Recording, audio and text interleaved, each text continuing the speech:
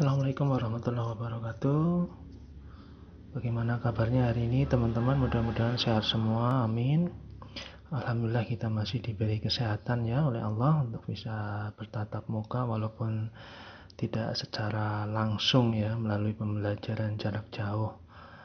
Untuk materi bahasa Indonesia kali ini adalah penugasan membuat rangkuman jadi nanti akan saya minta Anda semua untuk membuat rangkuman dalam bentuk atau dalam jenis resensi ya. Jadi resensi juga bagian dari tulisan rangkuman karena di dalamnya uh, berisi uh, ulasan tidak hanya ulasan maksudnya rangkuman ya berisi rangkuman dan ulasan sebuah karya tulis bisa itu karya tulis buku fiksi maupun buku non fiksi jadi nanti akan saya bebaskan kalian untuk memilih uh, salah satu jenis buku ya boleh buku fiksi atau non fiksi cuma biasanya buku fiksi lebih diminati ya karena buku fiksi ini menyajikan semacam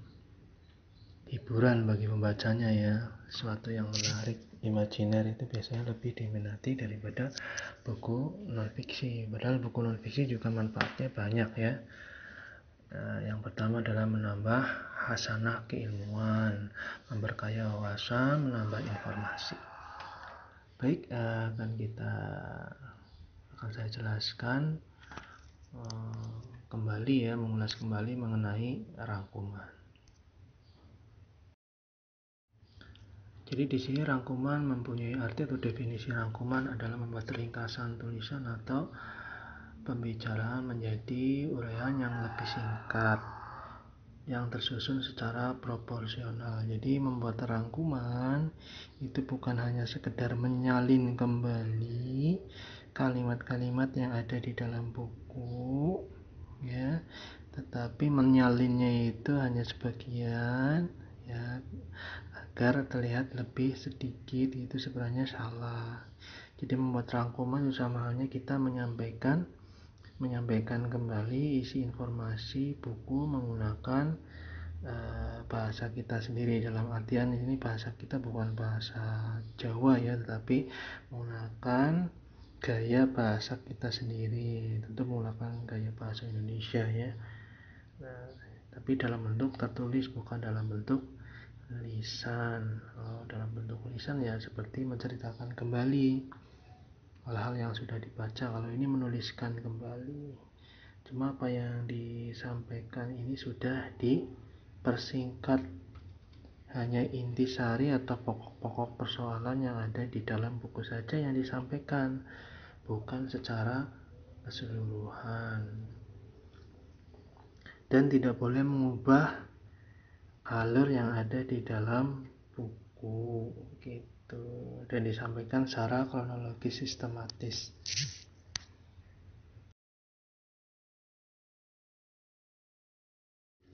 Untuk bisa membuat rangkuman yang benar maka kita harus mengetahui langkah-langkah yang sebagai berikut ya. Jadi tidak asal merangkum atau asal menulis ya atau asal membuat resume tetapi juga ada langkah-langkah yang harus kita uh, pahami. Yang pertama adalah proses membaca buku. Karena di sini ada proses awal uh, pemahaman informasi di dalam buku. Jadi harus dibaca. Membaca itu kan proses penyerapan informasi.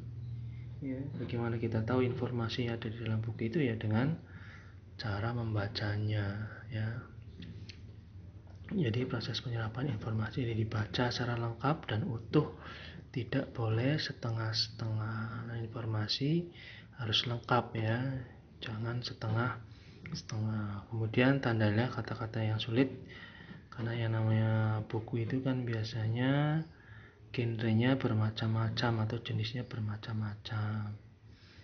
Kadang-kadang muncul ada beberapa kosakata yang yang asing bagi kita atau kita merasa kesulitan ya atau kata-kata asing itu tadi ya.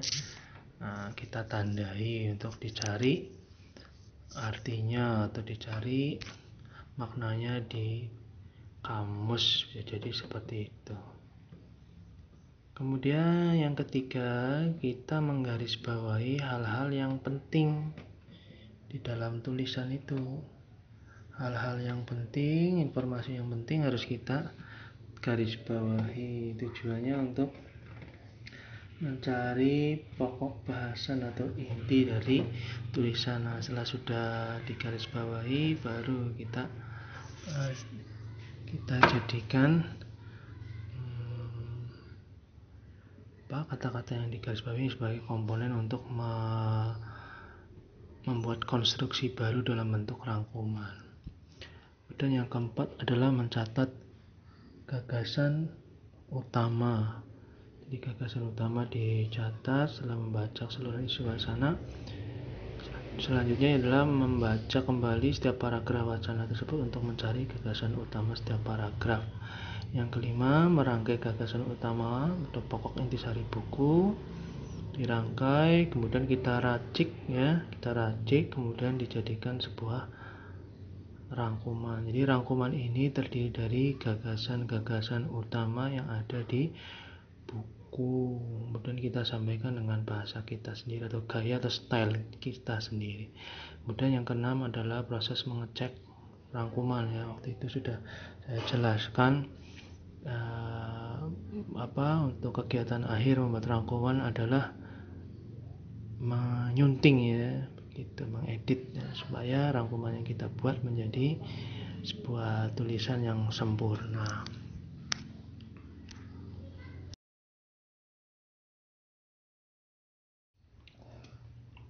Manfaat rangkuman.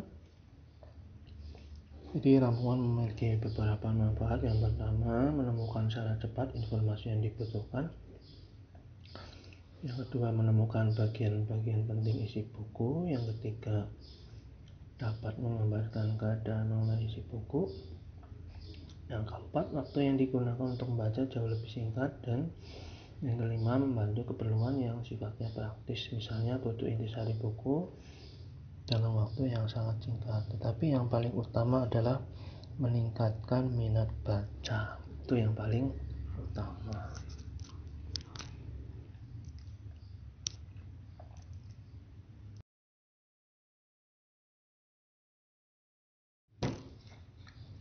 Nah, langsung saja ke penugasan ya. Pernah dengar istilah resensi ya? Nah, tentu teman-teman juga sudah pernah mendapatkan tugas meresensi sebuah buku oleh gurunya dulu ya pada saat di SMA. Jadi membuat resensi ya sebenarnya sama itu membuat rangkuman. Cuma di sini saya lebih menyukai resensi karena apa? Karena untuk membuat resensi penulis itu tidak hanya menyerap informasi dari buku tapi juga mampu berpikir atau di diharapkan mampu berpikir secara kritis terhadap buku yang dibaca.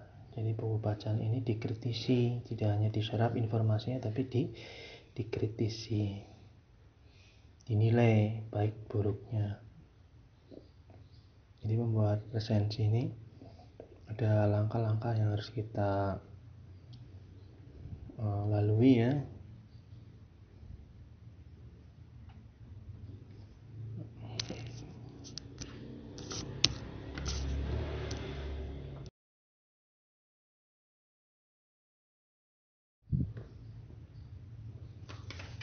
Nah, berikut adalah langkah-langkah membuat resensi. Yang pertama harus kita cari, harus kita tulis adalah data bukunya.